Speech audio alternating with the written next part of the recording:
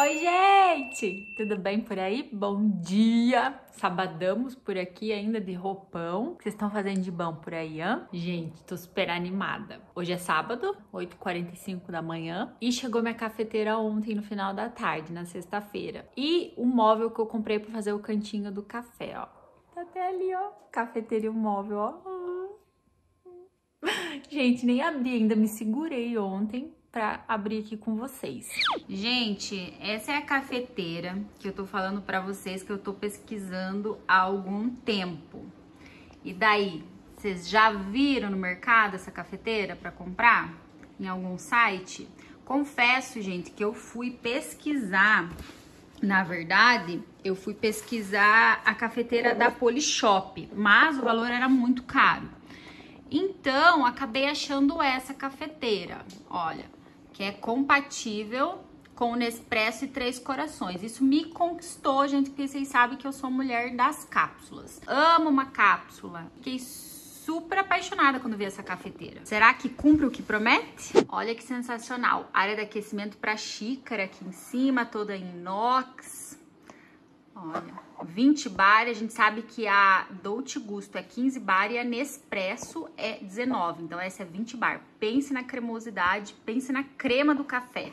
E queria mostrar para vocês duas coisas que eu comprei. Gente, vocês já ouviram falar nessa cafeteira vietnamita? Faz muito tempo que eu tô de olho, paguei 11 reais, se não me engano, mas eu achei a qualidade, não é um inox. Fala aqui na caixinha que é de inox, mas é um inox, assim, uma qualidade bem inferior. O que eu achei legal, que o café vietnamita, gente, é adoçado com leite condensado. E aí, na tua infância, adolescência, você já adoçou teu café aí coadinho com leite condensado? A minha mãe, gente, deixava um leite condensado aberto em cima da mesa pra gente adoçar o café. Isso há muitos anos atrás, né? Não, não fazemos mais isso lá em casa. Mas já foi um hábito, sim. É, minha mãe já nem sabia que era um café vietnamita e já tava arrasando no pedaço. ai, ai. Olha, gente, como eu falei pra vocês, o inox é meio fajutinha, né? Ó.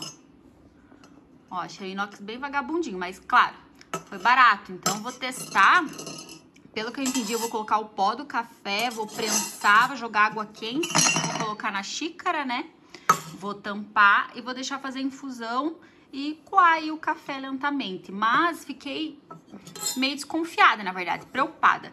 Porque olha o tamanho desses buracos, gente do céu. Vai ter que ser um café moído bem grosso, né? Porque senão o pó vai cair dentro da tua xícara e vai ficar um café meio árabe. Eles que têm costume de tomar, né? Eu acho, se eu não me engano, não sei se eu tô falando da abobrinha tem costume de tomar o junto com o pó do café, né? Mistura tudo. Espera decantar, que fala, né? Que o pó fica embaixo da xícara daí, no fundo da xícara. É, eu não curto, então. Fiquei meio preocupada, porque ó, ó, ó. Mas vou testar, não sei se vocês têm interesse. Eu comprei, na verdade, por curiosidade própria, mas se vocês tiverem interesse, eu faço aqui.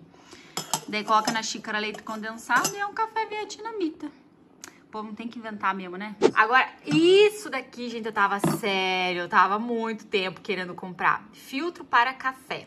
Reutilizável sem uso de papel. Eu comprei o tamanho pequeno, tá? Mas tinha o grande também para você colocar na tua garrafa térmica. Como aqui em casa sou só eu e meu esposo e com a pandemia a gente tá recebendo muita gente, comprei o pequeno para testar. Até porque é um valor meio salgadinho. Eu paguei 30 reais, se não me engano, nesse. O maior tava na faixa de 70, tá? Mas olha que inox de boa qualidade. Comparado a esse, né, ó, do lado. Gente, sensacional esse filtro. Sério, eu tava muito tempo namorando um filtro desse. Vocês conseguem ver que tem uma peneira, olha, de metal ultra. Olha isso aqui, eu vou poder passar café, gente. Sério, aquele café o pó bem fino vai dar certo aqui. Vou testar para ver se não enferruja nem nada, mas aparentemente é inox de boa qualidade, em aço inoxidável, né, que fala. Muitas vezes eu esqueço de comprar o, o filtro de papel. Então isso aqui, pense, gente, na economia que não vai ser. O filtro de papel tá caro, vou ajudar o meio ambiente aí, né, já sou uma pessoa que consumo muito plástico por causa das cápsulas. E não sei se é mito, não sei, gente, mas já ouvi falar que o gosto do papel acaba modificando o gosto e o aroma do café. Não sei se é verdade, mas por via das dúvidas aí eu não vou usar mais o papel. Muito chique, muito chique, muito chique. Desconsidere se eu estiver falando alguma abobrinha. Qualquer coisa vocês coloquem aí nos comentários, me corrijam. Agora, gente, deixa eu mostrar pra vocês. A minha irmã, quem tem irmã assim, tem tudo, né? Minha irmã comprou, olha, me presenteou, chegou aqui essa semana, ela comprou no, no Shopee. Shopee que fala, né? Aquele que tem a propaganda com o Jack Chan, que tá bem doidão cantando.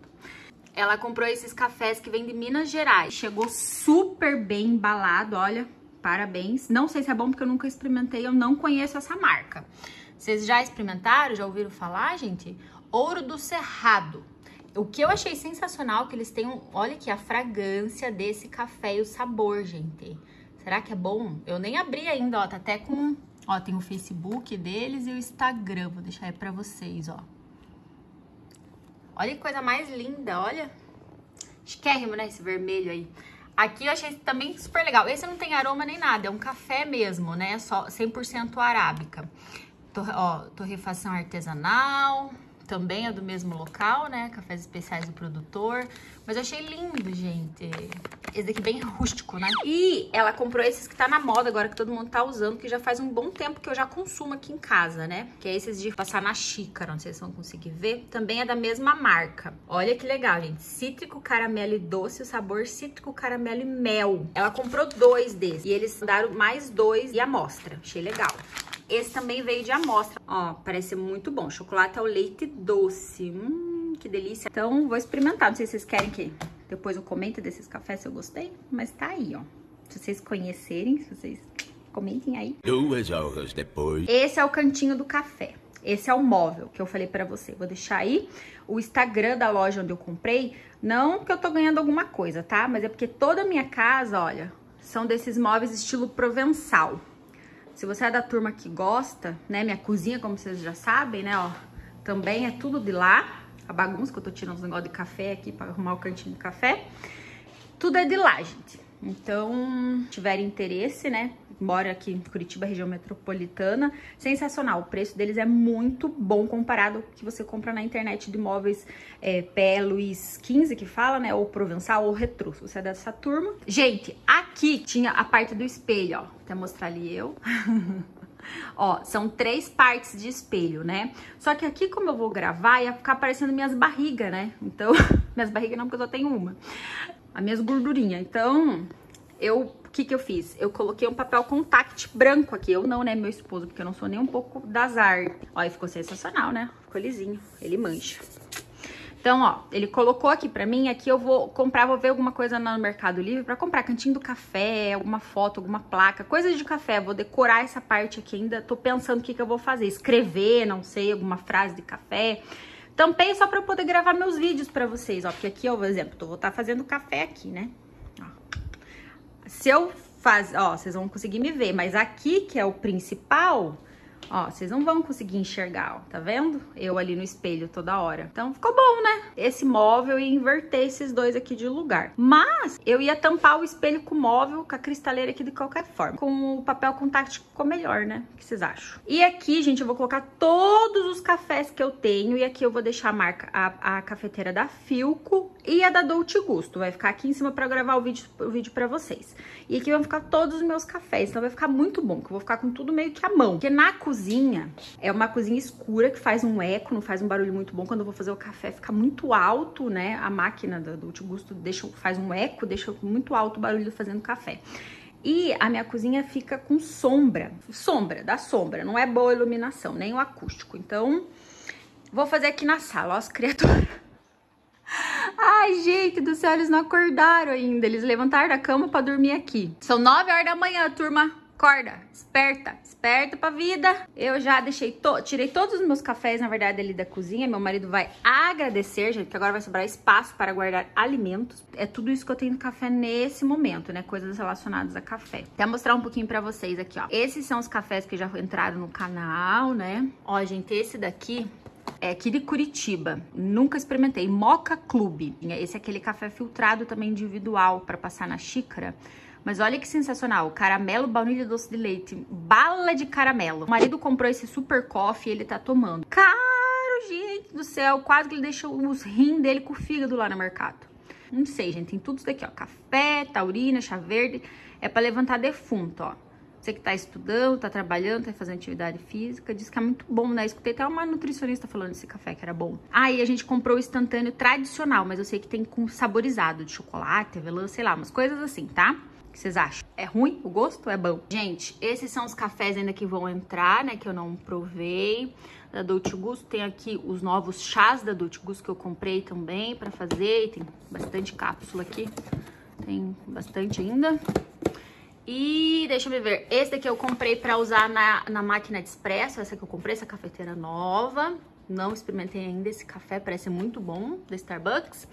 Ah, esse café, gente, eu comprei pra testar no adaptador. Ó, vai ser o primeiro café que eu vou fazer aí depois desse vídeo, vai entrar eu testando essa cápsula, né, que é compatível com o Nespresso, da Copenhague, na nossa Filco nova aí, ó. Olha que caixa mais linda, gente. Olha isso aqui, muito, muito lindo. Se você não é inscrito, tá vendo esse vídeo aí, se inscreva para acompanhar eu experimentando essa cápsula aqui, que tô super curiosa. Tava ali só contando os dias pra chegar minha cafeteira pra experimentar com vocês. Gente, esse café do ponto aqui, nosso vídeo vai ficar gigantesco, mas eu, eu me animo quando vou falar de café. Vocês já experimentaram o café do ponto? Amo essa marca, gente, sério, amo. Esse daqui é aromatizado de, de amêndoa é sensacional. E eles têm também o trufado normal, que é de chocolate, que tá até aqui, ó, pra você ver como é bom.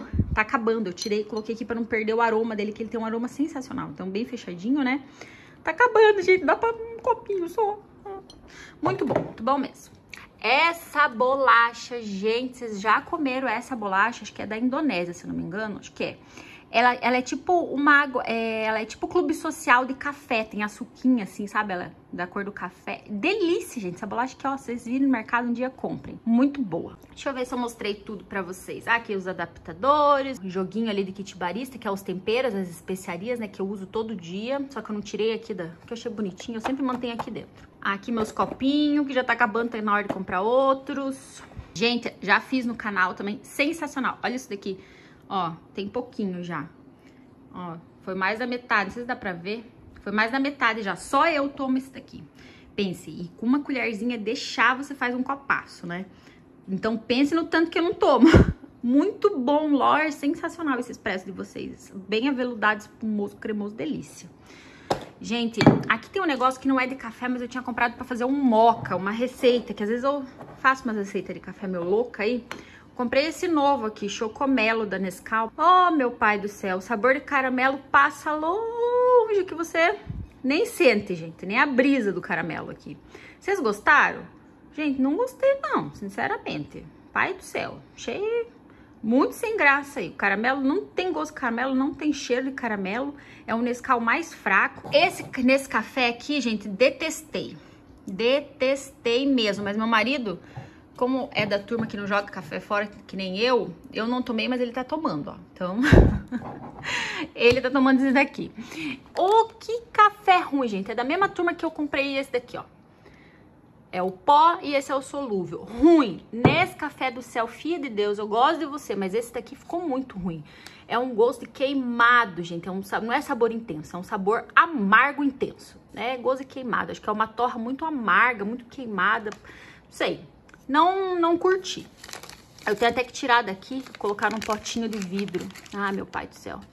Gente, vocês sabem que é mito, né? Guardar café na geladeira. E sim, você tem que guardar num pote bem fechadinho, né? Ó, gente, então é isso, tá? Princípio. Vou gravar um pouquinho pra vocês, eu arrumando aqui, tirando, né, o filco da caixinha. E já mostro pra vocês como ficou o antes e o depois. O antes é esse e o depois já nos vemos.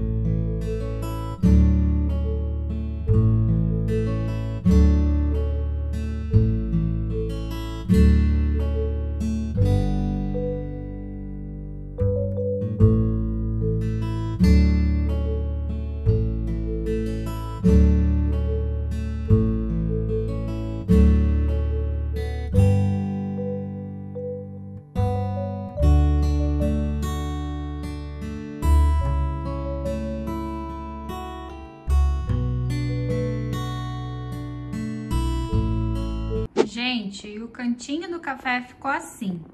Tem aí a extensão que eu vou ter que arrumar ainda, né? Porque eu não tenho aqui nessa parede. Eu tenho uma tomada aqui, que eu puxei uma extensão ali. Eu vou ter que ver como que eu vou fazer, né? A parte aqui ficou boa, não vai ficar mostrando minha pança, como eu disse, né? Quando for gravar os vídeos. A iluminação aqui ficou ótima, olha, para gravar os vídeos, ficou bem bom. Eu já tô fazendo a primeira limpeza nela, já coloquei as xícaras ali para ver se realmente aquece. Tá super quentinho esse inox aqui de cima. Nossa, não vou dar spoiler pra vocês, vou deixar pra fazer uma resenha mais lá na frente. Mas olha, sensacional, hein? E sobrou espaço pra burro aqui, gente, nesse armário. Olha o tanto espaço que sobrou. Fui colocando, né, com o passar do tempo eu vou organizando melhor. Mas sobrou bastante espaço, ainda posso comprar bastante café agora. Minha Dolce Gusto veio pra cá né, aqui para colocar as cápsulas usadas. Deixa eu só finalizar esse vídeo mostrando para vocês. O próximo vídeo eu vou testar, ó. Esse é o adaptador que se encaixa nela aqui dentro, ó, tá vendo? Esse daqui é o da Três Corações. E esse é o da Nespresso. Então, o nosso cantinho do café ficou assim. Tava lendo aqui o manual, aqui é onde eu gravo, né, 100% no chão e gravo para você os cafés, então ficou bem prático, né? A minha sala em questão de iluminação é a melhor e a questão do acústico também, melhor que a cozinha, então por enquanto eu vou gravar os videozinhos aqui. As criaturas, como estão chovendo, tá frio e ar-condicionado tá ligado, ó, estão embaixo do ar, ó. ai, ai, vou finalizar esse vídeo. Deixa eu só virar a câmera para dar tchau para vocês. Só passando no final desse vídeo para me despedir e agradecer, gente, por vocês assistido até o final. Falei demais esse vídeo, né? Não sei se vocês gostam de vídeo tipo assim, tipo vlog, eu acho, né? Se gostarem, eu vou gravando mais. Meu cantinho do café, ali dos sonhos. Ai, gente, já tô fazendo a limpeza na cafeteira, já tô testando algumas coisas, né, que, que ela promete. Vamos ver se realmente cumpre. Próximo vídeo, irei fazer a cápsula da Copenhague com vocês, testando aí os apetrechos que vem nela, né, para utilizar aí as, as compatibilidades de cápsula. Gente, eu vou tomar café da Copé hoje, quero ver. ai, ai, gente, o que vocês acharam? Ficou bom o cantinho do café? Já para mim já é uma conquista e já é uma benção muito grande, gente. Um móvel novo, uma cafeteira nova. Então, imagina, para que mais? Passar do tempo a gente vai decorando. E vai ficando mais bonitinho até que vem essa chácara dos sonhos pra gente sim ter um, quem sabe, né, gente, futuramente ter um estúdio só para café, você imaginou? Oh, que sonho! E assim a gente vai na batalha para conquistar os nossos sonhos. Você aí do lado no lista dos seus e até o próximo vídeo. Muito obrigada se você chegou até o fim desse vídeo. Fiquem com Deus e